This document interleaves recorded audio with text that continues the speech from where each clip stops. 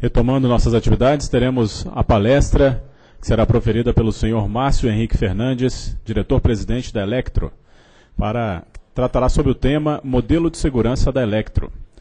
Graduado em Administração de Empresas pela PUC Campinas, com pós-graduação em Administração Financeira pelo Instituto Nacional de Pós-Graduação, cursou também o Programa Executivo para CEO pela Universidade de Stanford, na Califórnia. Convidamos para a tribuna, para proferir sua palestra, o senhor Márcio Henrique Fernandes. Boa tarde a todos. É, nós temos um, um, hábito já há bastante tempo na nossa empresa e todas as reuniões a gente faz, antes de iniciar, uma pequena reflexão a respeito da segurança e sempre, para falar de segurança, a gente tenta colocar alguma pessoa que seja referência no assunto. Então, hoje eu convidei para estar conosco aqui o Regis, que é um técnico de alta tensão da Electro, presidente da CIPA da cidade de Rio Claro, para ele falar algumas palavras de segurança e também de como é que funciona isso na Electro. Então, Regis, muito obrigado por ter aceito o convite.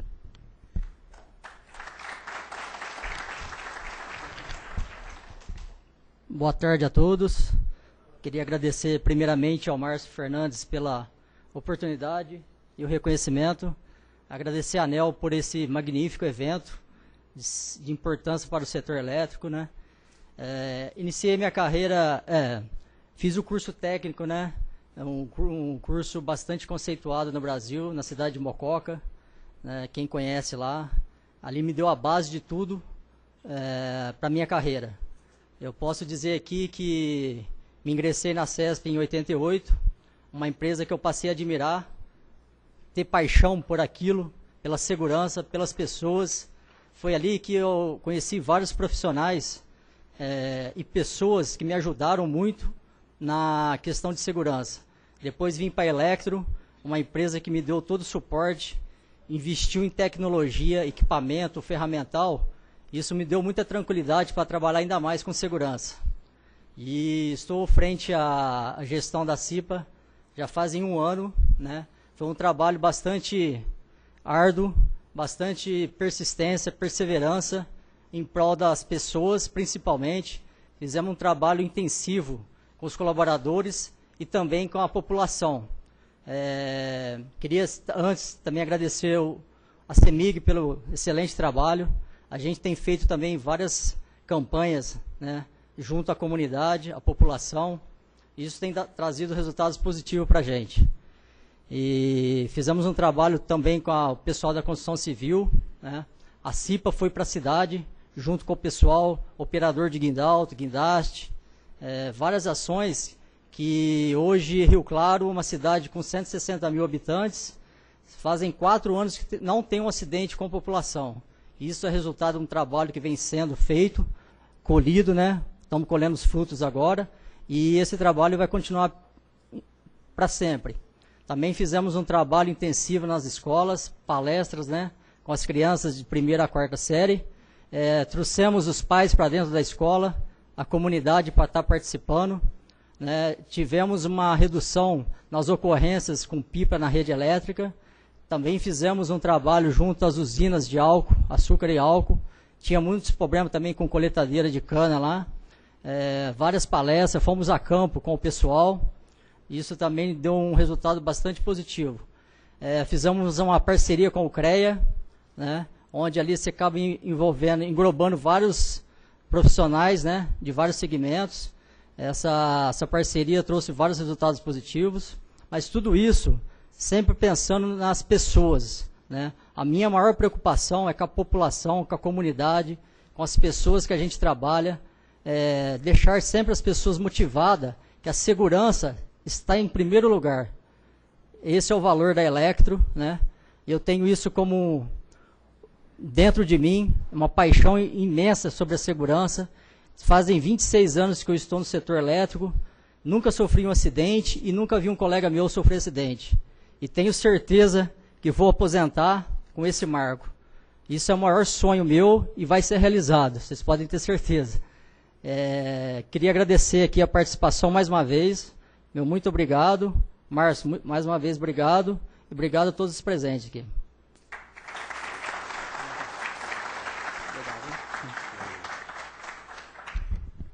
É, eu assumi a Electro como presidente no ano de 2011 e eu ficava pensando o que, que seria a minha gestão. E a Electro já tinha feito um trabalho maravilhoso, incluído muita gente, oferecido muitas oportunidades e transformado a vida de muitas pessoas. Mas ainda faltavam algumas coisas. E agora a gente ouve o depoimento do Regis e de outros tantos. Então, muito melhor do que ouvir o presidente da empresa falando sobre segurança, ou ouvir o presidente da empresa falando sobre resultados, eu ouvi as pessoas. E eu convido a vocês que quiserem nos visitar para ouvir das pessoas, seja quem for, onde for, como for. Nos avisem, alguns de vocês a gente já teve a felicidade de receber. É um imenso prazer. Para nós é prazeroso poder compartilhar o pouco que a gente já faz e poder aprender também. Eu estava vendo agora aqui a palestra do colega da Ampla, da, da, na, a gente foi na Ampla aprender e aprendemos muito, e a gente tem ido em muitos lugares, em muitas empresas, a, a, o trabalho das câmeras, a gente está tentando aprender. É inaceitável que alguém sofra e a gente fique inerte. Então, é sempre difícil. Tudo que você tenta inovar, mudar, é, gera polêmica. E é assim mesmo, né? A, a gente está tentando criar, então, uma nova filosofia de gestão. Não é modelo, é filosofia. Baseada em alguns pontos. Primeiro, você precisa acreditar. Depois, você precisa praticar. Depois, você precisa melhorar. E depois, você precisa compartilhar. Quem conseguir acreditar já deu um passo importante.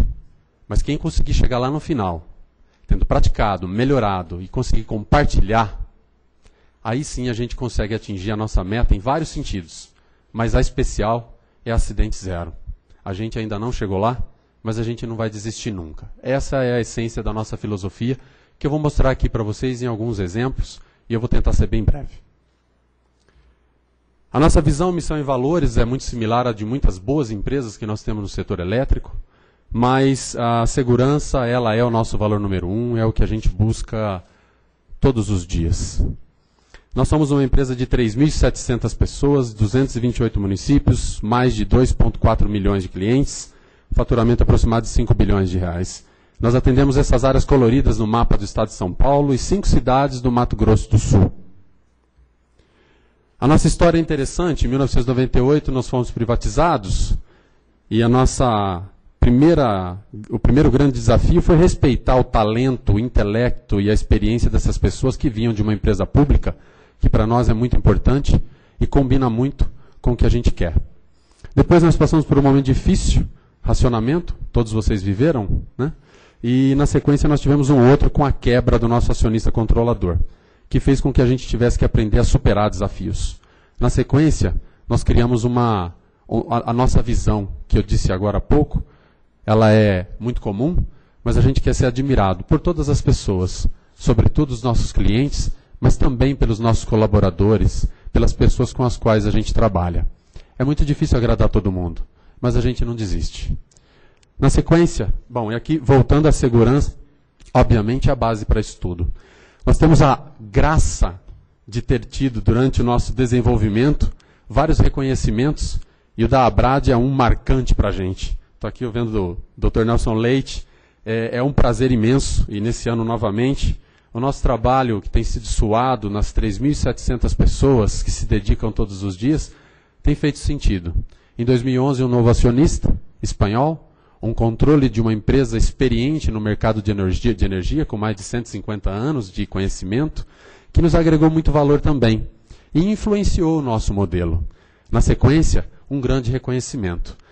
As nossas pessoas decidiram que queriam mostrar um pouco dessa filosofia para o mundo.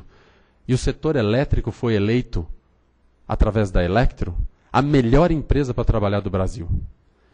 A gente, às vezes, se pergunta se a gente está fazendo algo especial. Talvez não. Talvez nem tanto. Mas as nossas pessoas decidiram que elas podem sim fazer uma diferença muito grande para o futuro delas próprias.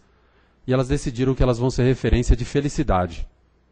Então a nossa base parte da manutenção da manutenção da vida, da família, de coisas simples, como respeito, que nem sempre a gente encontra em todos os lugares. Na sequência, a gente foi premiado de novo, Prêmio de Gestão da Qualidade, Dizem que uma pessoa feliz produz melhor, né? Na Electro a gente tem evidências claras disso. Desde a gestão do meu antecessor até essa, nós já fomos reconhecidos por duas vezes. Isso mostra para quem investe no setor elétrico que esse setor merece cada centavo do seu investimento. A nova filosofia, como eu disse, é totalmente baseada nas pessoas e as nossas pessoas são as pessoas que a gente quer valorizar. A gente ainda precisa aprender muito, mas a gente já tem ousado dizer que nós encontramos o caminho. Existem muitos momentos na nossa vida que nós ficamos numa grande inércia, onde tudo funciona, tudo acontece, mas nunca no nível que poderia. E a gente acaba tirando essa inércia através da inserção de um propósito, de um sonho. E um dos nossos sonhos é acidente zero. O outro sonho importante é pegar meninos e meninas da nossa comunidade, 228 abrigos, orfanatos, e prepará-los para trabalhar no setor elétrico brasileiro. É um sonho. Tem gente que diz que isso é ingenuidade. Eu prefiro acreditar que é a base da felicidade. Temos uma filosofia de gestão, como está dito aqui, baseada nas relações humanas, onde uma pessoa se sente respeitada, tratamento digno e, portanto, tem condições reais para ser feliz. A segurança é a base de tudo isso, a garantia da nossa existência. Por isso, ela é o nosso valor número um.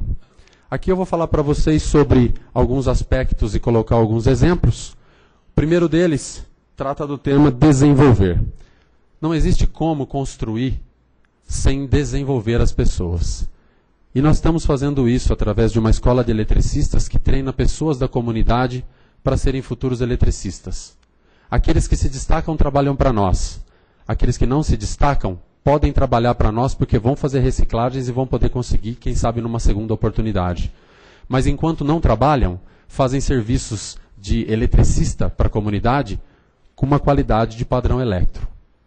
Na sequência, a gente coloca essa escola noturna. E por que noturna? Porque muitos dos nossos atuais trabalhadores, do nosso dia a dia, podem também estudar nessa escola e se tornar eletricistas, mesmo já estando trabalhando na nossa empresa. Então, para oferecer condições reais de sucesso, essa escola não pode ser durante o dia, também tem que ser à noite. Na sequência, ainda na, na, na prática, nós, eu falo para vocês aqui de um trabalho que a gente faz, que é uma análise preliminar de riscos. Eu imagino que isso não seja novidade para a maioria de vocês, mas no nosso caso é feito no PDA, assim como todas as atividades que nós fazemos no dia a dia. Então, esse PDA passa a ter agora uma análise randômica, não sempre as perguntas são feitas na ordem de sempre, porque o comportamento às vezes induz para o sim, sim, sim, sim, sim. E a gente começa a provocar a reflexão a respeito de em que ambiente eu vou entrar agora. Porque às vezes acontece com todo mundo, você dirige o seu carro, entra no piloto automático e já nem percebe mais que foi de A para B. E aí que um perigo de acidente aumenta. Então na nossa atividade é a mesma coisa e a gente faz dessa forma. A gente tem o direito de recusa numa análise preliminar de riscos, um local que não ofereça as condições adequadas para a execução de qualquer tarefa, a pessoa tem o direito de se recusar a executar. E a gente tem sido agraciado com algumas recusas que nos impõem a melhoria contínua. Nós temos inovação. É, podendo olhar na primeira vista, pode parecer apenas equipamentos.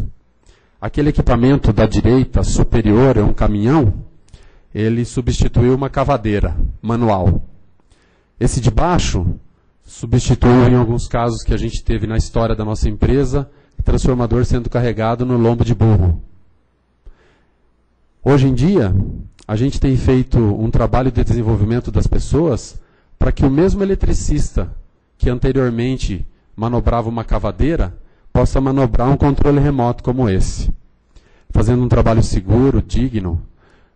Em locais mais restritos, esse equipamento menor que tem aqui um equipamento que parece aquela maquininha de desarmar bomba da NASA, né? A gente usa isso aí para colocar poste e transportar postes em locais de difícil acesso. A gente também fez algumas outras coisas interessantes em alguns trabalhos difíceis. Na rede elétrica, para fazer inspeção, a gente sempre ouve acidentes com helicóptero. A gente fez um investimento numa câmera, essa que vocês estão vendo no helicóptero azul, se chama gimbal, que é a mesma câmera do Globocopter lá, aquele equipamento que a Globo tem, porque você consegue fazer de dentro do helicóptero sem ter que ficar em condição insegura, sentado no banco, com cinto de segurança e com o computador na sua frente, selecionando as imagens, fazendo zoom durante o sobrevoo. É uma atividade que ficou bastante mais segura. Alguns trabalhos de rede, o equipamento para a linha de transmissão, coisas simples, mas que para nós fizeram bastante sentido. E confesso, um investimento que vale a pena. Investimento na segurança das pessoas sempre vale a pena, porque o retorno é garantido. Na sequência, nós trabalhamos no engajamento, fazendo com que pessoas comuns entendessem que também tem uma importância grande para cuidar da vida dos outros e para fazer com que nós possamos vencer através da força do todo. Então, nós temos o nosso programa de BBS, para nós ele se chama Comportamento pela Vida. A gente não podia chamar um programa de uma empresa brasileira de Behavior Based Safety, né? a gente podia chamar de Comportamento pela Vida. Fica muito mais agradável aos ouvidos de nós brasileiros. E criamos dois instrumentos muito interessantes. Um deles é a observação de segurança, que pode ser feita em papel, ou pode ser feita eletronicamente, por qualquer pessoa, anonimamente ou não, Felizmente, muitos não são mais anônimos, se identificam, e eles podem dizer do ato inseguro de seja quem for. E o outro é observação de meio ambiente. O, o, a, o trajeto mais curto entre dois pontos não necessariamente é uma reta no setor elétrico. A gente precisa pensar que, em muitos casos, a gente tem áreas de preservação ambiental. E a gente precisa conseguir levar energia e desenvolvimento para as pessoas, mesmo que seja numa área preservada.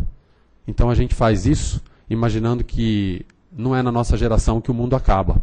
A gente precisa da geração dos nossos filhos vivendo nesse mesmo mundo. Então a gente se preocupa com o meio ambiente também. Na sequência, ainda no engajar, a gente fez um trabalho bastante interessante com a nossa gestão, muito profundo. E a gente fez os sete compromissos da liderança com a segurança, mas eu quero destacar só um: ser o exemplo. A gente tenta cotidianamente ser exemplo para os nossos filhos, para as pessoas que a gente ama, e a gente faz isso no trabalho também. Às vezes a gente não consegue, porque todos são humanos e erram. Mas no nosso caso, a gente quer acertar mais do que errar. Então a gente assumiu um compromisso de que a gente vai tentar todos os dias. E felizmente, a gente tem visto na nossa, na nossa gestão pessoas que estão decididas em favor da vida. Também fizemos um compromisso baseado na, na NR1 com os nossos colaboradores. Não adianta alguns terem compromissos. Esse é um compromisso de todos. E todos eles assinam o compromisso e honram esse compromisso.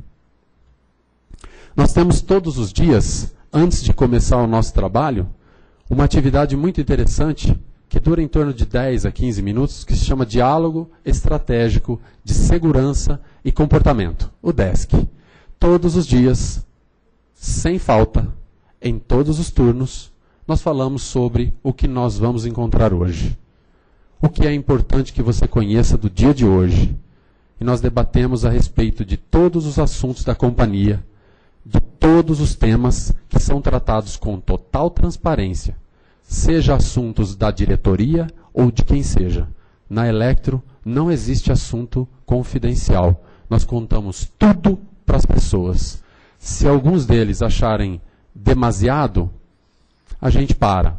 Mas por enquanto, eles têm aproveitado a informação, que para uma vida competitiva faz sentido. Você vai muito melhor no jogo quando você conhece a regra. E a gente tem tentado fazer isso todos os dias. Os acidentes na nossa empresa têm diminuído de forma intensa. Dentro desse ano, a gente só teve um acidente com afastamento e a gente não hesita em dizer, graças a um trabalho, graças a um colega, graças à empresa e também graças a Deus. Nós monitoramos os nossos resultados por instrumentos tradicionais, como muitos de vocês. Nós fazemos o IPAR, nós somos certificados OSAS 18001 e nós temos um comitê de segurança e, como o Regis disse aqui, CIPAs atuantes. A nossa CIPA, em todas as cidades, são quase 40 CIPAs são muito atuantes e fazem trabalhos espetaculares. O Regis é presidente da CIPA da cidade de Rio Claro e nos entrega resultados incríveis em favor da segurança, em favor das pessoas, da comunidade, e, e dá um orgulho danado saber que na Electro isso funciona. Mas a responsabilidade não é do comitê nem da CIPA, é de todas as pessoas. Então nós fazemos isso com orgulho e com a certeza de que todas as pessoas se beneficiam. Então, por si só, já vale a pena. Nós também compartilhamos e recebemos é, compartilhamento de coisas boas. Como eu disse aqui, do, do caso da Indessa, né, que nos compartilhou grandes informações, e outras empresas também com as quais a gente aprende e aprende muito. Recentemente, o Zé Roberto, que está ali, teve lá com a gente, foi um prazer muito grande. Deu uma aula também do que tem feito de segurança.